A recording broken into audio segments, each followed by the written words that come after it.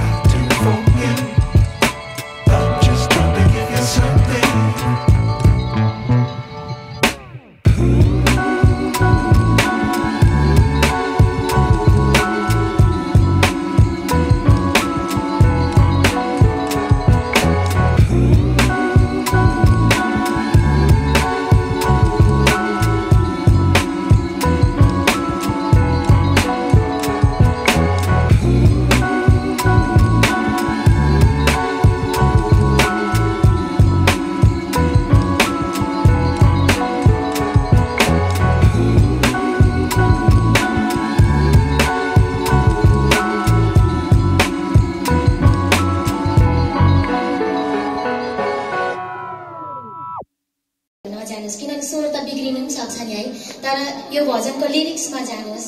कतै मन छुन्छ नि।